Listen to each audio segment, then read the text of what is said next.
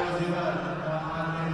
یازدهمین دوره مسابقات بوکس قهرمانی نوجوانان کشور با حضور 234 ورزشکار از 31 استان به همراه تیم‌های توابع تهران و منطقه آزاد اروند در استان لرستان شهرستان خرم‌آباد در حال برگزاری سطح مسابقات در این دوره از لحاظ کمی و کیفی قابل رشد بوده نسبت به سال گذشته چون تمام ملی پوش‌های ما جهت شرکت در مسابقات قهرمانی آسیای امارات در این مسابقات شرکت کردند. این مسابقات با حضور 45 نفر از بچه های اجرایی کادر اجرایی. 24 داور از 14 استان که 4 تا از این داوران عزیز از استان لرستان هستند و بقیه از 13 استان در این مسابقات قضاوت این مسابقات رو بر عهده دارند.